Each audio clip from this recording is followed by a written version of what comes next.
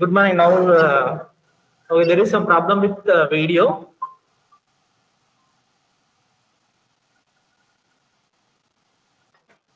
Okay, we'll uh, continue the class without uh, this video webcam.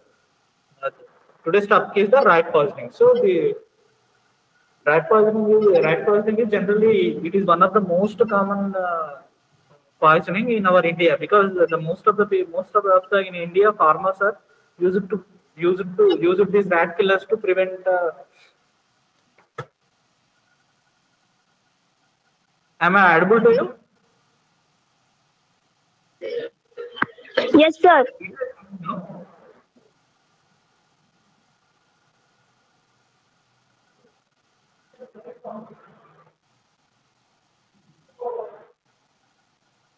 So what happened?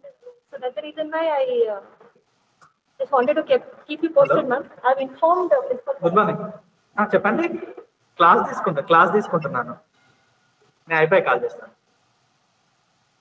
are dealing with rat poisoning so rodenticide so rodenticide means the rat poisoning only so any substance which used to kill the rats we call it as a call it as a rodenticide so in india and also the many parts of the world the rodenticides are commonly used because the, these rats are the uh, rats generally they will uh, destroy the their crops so to prevent uh, their crops and also the to to save the grains, the what they use the people generally use the farmers generally the farmers generally use the rat killers. So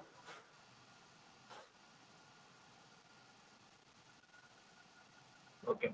So now, now in India it has become one of the most common poisoning and uh, the rat uh, rat killer poisoning is most common in the North India. In India compared to the South India, it is more common rat, rat poisoning ingestion more common in the North India. So it may be the ra- ingestion, the root of uh, rat poisoning maybe it may be because of uh, ingestion. That means eating or it may be because of inhalation. The fumes of the rat killer uh, if we accidentally inhale that also causes the damage to the lungs. So the, it may be because of uh, inhalation or it may be because of direct dermal contact. So these sub- substances are highly permeable so when we uh, when we use the uh, rat rodenticide with our bare hands and also there may be accidental uh, contact with our skin also leads to the rat poisoning. So the poisoning may be suicidal, accidental, or homicidal. Suicidal means uh, somebody uh, intentionally want to kill you. That is suicidal. Uh, so these are the modes. So inhalation, ingestion, and the direct dermal contact. So classification. So rat, uh, there are different uh, rodenticide, rodenticides are there. So they are classified into the inorganic preparations, organic preparations, and conversions, and the anticoagulants. So, but you know, in general, the anticoagulants are most commonly used. So, what these anticoagulants will do, uh, do is the anticoagulants will prevent the clotting of the blood. So, uh, whenever when, after ingestion of these anticoagulants, what will happen? Our blood become uh, diluted. That means uh, the blood vessel is unable to clot. So generally, as the heart pumps, because of the blood pressure, it constantly there is a shear force uh, uh, exerted on the blood vessel. So it leads to it leads to con- continuously in our body there is minor uh, minor damage to the our capillaries. So because of the rodenticide injection, the blood is not able to clot. So that so uh, at the site of capillaries, what will happen? The blood vessels uh, at the site of damaged blood vessels, the clot not able to form a clot. So it leads to the continuous leakage of the blood from the capillaries capillary side. So this leads to continuously the small small leakage will uh, starts coming at the capillary side. So our body not able to stop this uh, bleeding. It leads to the minor bleeding. Then again it turns to the massive bleeding, which leads to the sudden death. So continuously bleeding, uh, bleeding. It will be generally starts from the minor sites like uh, small nasal bleed or small hemoptysis or melena. So these uh, small small bleeds, uh, they are gradually become more and the patient will die because of excessive bleeding. And convulsions, what is the convulsions means? These are the CNS ex, uh, excitants. So what will they call? They will excite CNS. So because of excitation of the CNS, what will lead to? It will decrease the threshold of the seizure. So there will be the patient will uh, continuously throw the seizures. And uh, this rat also continuously the seizures because of the excitotoxicity, patient may die, or maybe because of aspiration of the contents, respiratory contents, or it may be because of the toxicity of the substance. So organic preparations like organic preparations are uh, oh, anticoagulants are divided into first generation and second generation. So first generation are normally commonly used are warfarin. So this is the medical drug and it is also generally the warfarin is uh, initially it is used for the racular only. After uh, knowing the its property, it is again uh, shifted to the human for the treatment purpose. And second generation are brodispocamine and uh, diphenocone. So these are the coumarin uh, compounds. So coumarin uh, it is it is added to these components. And uh, conversions like strychnine poisoning. So strychnine generally what is, it is CNS exotoxin, exotoxin. It leads to the continuous seizures. So organic preparation. What are the organic preparation? Uh, fluoroestate compounds. These are the organic preparation. Inorganic uh, preparations like barium carbonate, phosphorus, thallium, zinc, arsenic, uh, bromethylene, henrin. These are the inorganic compounds. So mechanism of action. So what is the mechanism of action? Mechanism of action of this inorganic zinc phosphate is what will happen after ingestion of the zinc, zinc phosphate in the stomach, the phosphate is separated and the phosphate it will give rise to phosphine gas. So this is the main uh, main pathology is because of the phosphine gene. So this fast, uh, what will do is the uh, after ingestion the phosphate gives rise to the phosphine gene. This phosphine gas is the toxin compound. So it will damage the respiratory system. So this ga- gas will uh, dissolve in the blood and it will reach the pulmonary and it will damage the lungs. So zinc phosphate causes the pulmonary toxicity. So death generally occur after one to three days after the ingestion. And the zinc phosphate, why it is most commonly used it is single dose. So single dose of zinc phosphate is enough to kill the rat. So that's why zinc phosphate is one of the most commonly used rodenticide. And uh, calciferols, what are the calciferols means? What will happen? It will uh, it will alter the balance between the calcium and phosphorus in the body. It, uh, and these calciferols and also what will they cause will increase the calcium concentration in the body. So whenever in our body the calcium concentration is increased, what will will deposit in the tissues. So it may be deposited in the stomach, kidney, lungs, or blood vessels. So accumulation of these will lead to the calcification or mineralization. And uh, the main uh, use is calciferol, they are uh, generally they have synergistic effect with anticoagulants. So because if the calciferols are used along with uh, anticoagulants, the poisoning efficacy will increase. So the chance of the death also increase. And time uh, time duration uh, from the injection to the death also decreases. So that's why this calciferol are generally used along with the along with anticoagulants. So anticoagulants, what will happen? Uh, this is these anticoagulants are mainly the based. So the what is the mechanism of coumarin is coumarin will, uh, will competitively inhibit the vitamin K. So because of vitamin K inhibition, uh, there is the, the clotting factors which are dependent on the vitamin K are impaired. Their level is impaired. So their synthesis is decreased. So what are the clotting factors which depend on the vitamin K is 2, 7, 9, 10. So there are 2, 7, 9, 10. These are the four clotting factors which synthesis is uh, dependent on the vitamin K. So because what will happen, these anticoagulants will competitively inhibit the vitamin K. So because of low vitamin K, this uh, level of the 2, 7, 9, 10 uh, factors will be decreased. So it will lead to the decrease in coagulation potential of the blood. So the blood will become less coagulable. So uh, what is the paracetamol used after taking the anticoagulant, the tiny blood vessels in our body, their permeability will increase. So it will lead to the small, small bleedings. And the gradually over the several days, the small, small bleeding becomes massive. So the these are generally preferred. So in our India, the most commonly used are anticoagulants. So because uh, these uh, why the anticoagulants are generally used by rodenticides, this will got the exact antidote. So vitamin K is the available antidote. So that's why the government and also the product, the manufacturing companies will produce the more anticoagulant based rodenticide because there is effective antidote is available. So if the person is accidentally ingest, ingested his uh, rat poisoning, there is a chance that uh, he can survive by giving it. So you can uh, increase the survival of the patient by giving the vitamin K.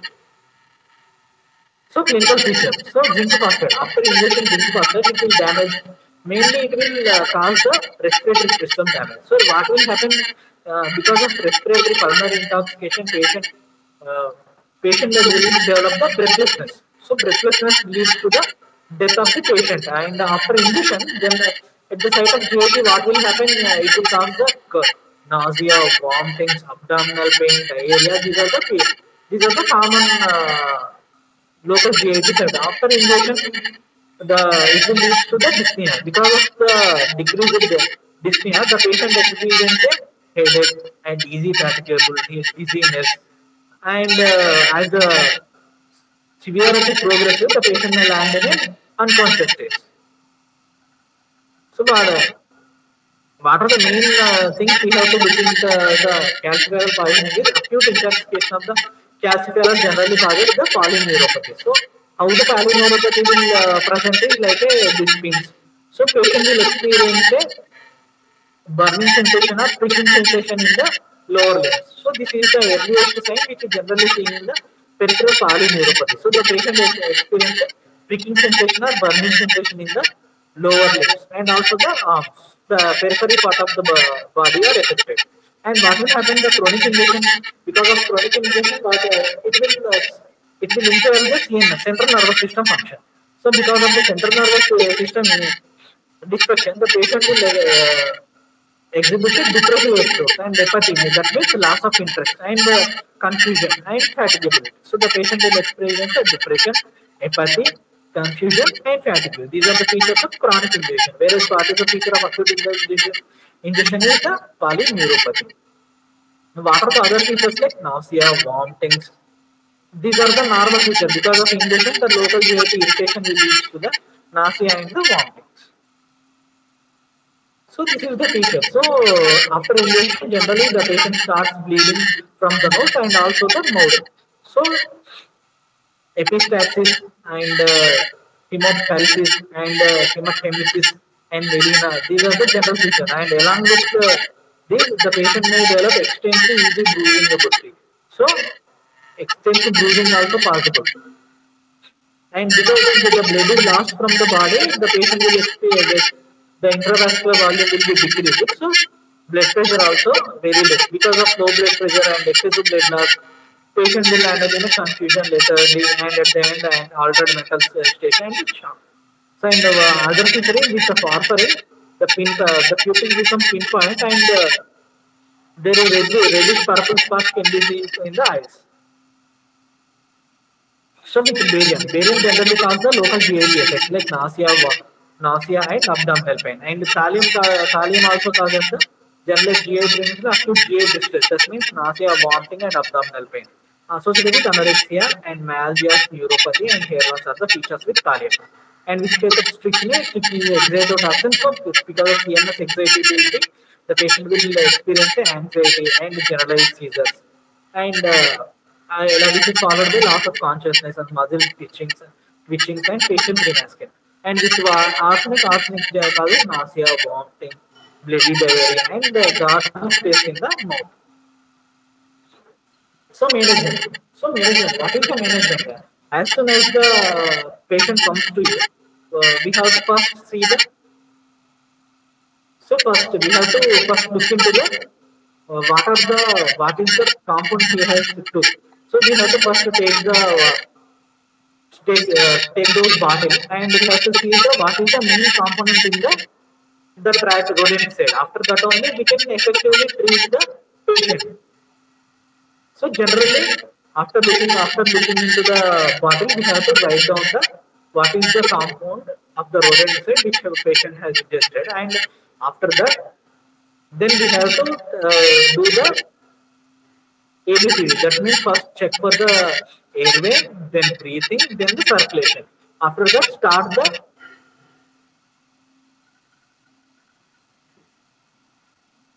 start with the then do the activated charcoal. So what, is, what will happen with activated charcoal will absorb the uh, absorb the rodent cell which is inside the stomach. So it will uh, help to prevent the absorption of the injection rodent cell. So activated charcoal will because of uh, its act because of its affinity, it will absorb it will absorb the ro rodent cell. After that, we have to remove remove remove remove the this activated charcoal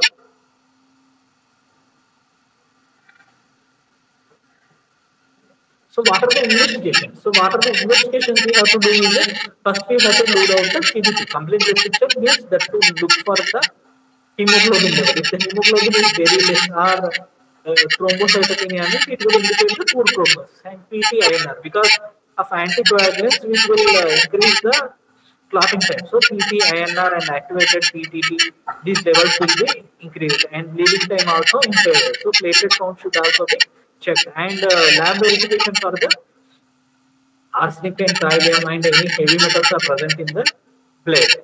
And CPK and lactic acid. This is the because of uh, excessive seizure, there will be uh, there will be rhabdomyolysis. That means damage of the muscles. So it will uh, lead to the elevated creatinine phosphokinase and also the lactic acidosis. Lactic acidosis level increase in any patients in ICU is a poor prognostics. So we have to check for the lactic acidosis. So in uh, in the patients, the fasting there. So zinc phosphate inside the abda inside the stomach, will it will it will uh, it will uh, it will be uh, the zinc phosphate because of the stomach. It will release the phosphine gas. So we can uh, check the phosphine except in the air by using the this is the phosphine gas uh, meter. With the help of this meter, we can check the how much of the phosphine is present in our in the body. So by knowing that, we can uh, grade the patient and it is a prognostic impact. And the, but gas chromatography, it is the one of the best test, but we can use the breathing, breathing apparatus. It will, it will tell you the amount of uh, gas uh, coming out of the out of the breathing.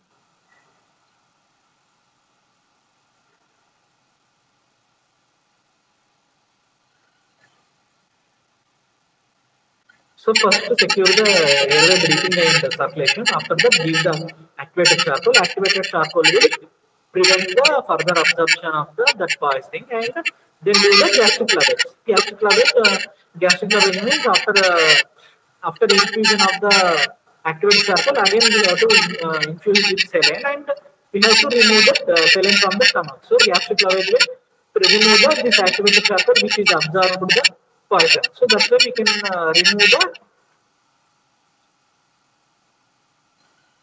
so zinc phosphate. So supportive therapy. In case of zinc phosphate, what is the specific therapy? In the zinc phosphate, there is no available antibiotic not available. So we have to give the only the supportive therapy. So gastric lavage is vegetative, vegetable oil. So what will happen? This gastric lavage is vegetable oil. This vegetable oil will uh, bind with the zinc phosphate and it will prevent the release of the toxic phosphine gas. So we have to do the gastric lavage with vegetable. And after that, patient with uh, severe respiratory distress patient, we have to intubate the patient and we have to give the respiratory support by connecting to the mechanical ventilation. And if there is any severe hemolysis is there from the passengers, what will happen? We have to do the exchange transfusion of RBC. That means we have to remove the blood from the patient and uh, we have to uh, externally and then again transfuse the blood. We have to repeat this cycle. So we have to remove the blood from the RBC from the patient and uh, we have to uh, give the new RBCs by the blood transfusion. It will uh, it will uh, remove the damaged blood cells. So anticoagulants. In case of the anticoagulant part, we have to check the PTINR. So PTINR means uh, PTINR will uh, tell you the coagulation time. So it is generally expressed as INR. If the INR value, INR means international standardized ratio. So this if the INR normally one. If it is elevated, then that is the indication that we have to give the vitamin K. If the patient uh, if the patient to be INR is not elevated, then there is no indication to give the vitamin K. So this is the topic. Uh, thank you everyone. We close.